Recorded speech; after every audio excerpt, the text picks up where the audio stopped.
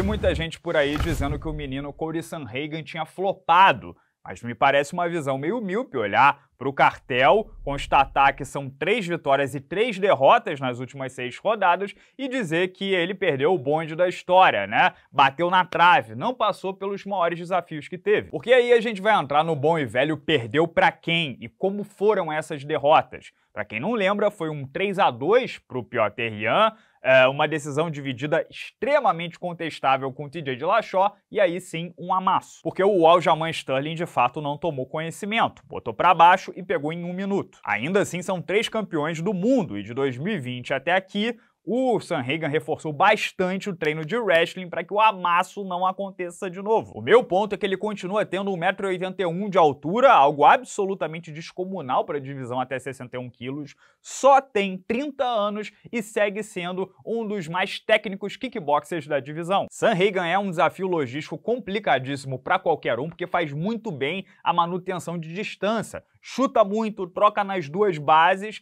e será maior do que qualquer oponente. Quando ele desceu só um grau no nível de competição, foi dos campeões e ex-campeões para o décimo do ranking, o chinês Song Yadong, e vocês viram o que aconteceu. Domínio total. E no Fight Night de ontem, mesmo enfrentando o terceiro do ranking, sendo o sexto, mesmo enfrentando o Marlon Vera vindo de quatro vitórias consecutivas, incluindo Rob Fonte, Dominic Cruz e Frank Edgar na lista de vítimas, o Corey Sanhagen era favorito na proporção de 2,5 para 1 naquela casa de apostas azul das letras brancas que começa com S e termina com E. E os apostadores estavam certos, porque nos dois primeiros rounds Vera nem viu a cor da bola. Em golpes significativos foi um verdadeiro massacre, 50 a 11. Corey fez barba, cabelo e bigode, dominou em cima, botou para baixo, fez ground and pound violento contra a grade e tudo mais. Vera um daqueles que já começa devagar, mas aqui, apesar de ser menor, ainda estava bem mais lento.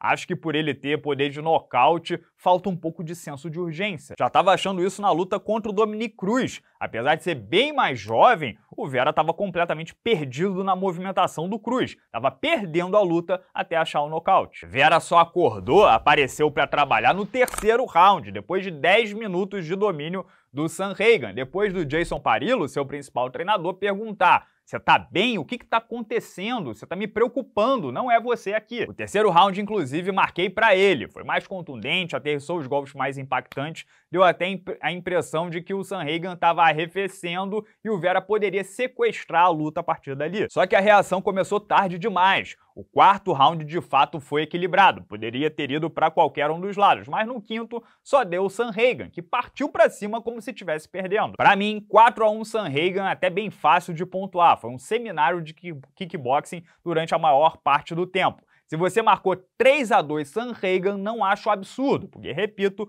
o quarto round foi apertado. Agora, o grande campeão que pontuou a luta oficialmente 3 a 2 Marlon Vera, portanto, foi uma decisão dividida só pode ser equatoriano ou estava mamado. Na coletiva de imprensa, Dana White classificou a pontuação como assustadora. Para mim, absolutamente injustificável. O rapaz tem que sofrer algum tipo de sanção. Para vocês terem uma noção, no último round, o Demi Maia, comentarista, estava levantando a bola do Vera tá lesionado, com algum problema pessoal ou coisa do tipo. O engraçado é que o primeiro resultado lido pelo Bruce Buffer foi exatamente a vitória do Vera. O grau de desespero do Sanhagen ali é absolutamente comovente. Enfim, apesar da tensão, o americano passou com justiça e na próxima terça-feira já será o terceiro do ranking até 61 quilos. Pós-luta, ele desafiou o Merab de Valishvili que estava presente e pareceu bem animado com a possibilidade. É a oportunidade perfeita para o Sanhagen provar que melhorou a defesa de quedas. Mas a situação é a seguinte, tudo vai depender do resultado de Aljamain Sterling versus Henry Cerrudo, duelo fechado para o dia 6 de maio. Se o Cerrudo vence, Dana White vai querer faturar com ele versus Sean O'Malley, não tem jeito.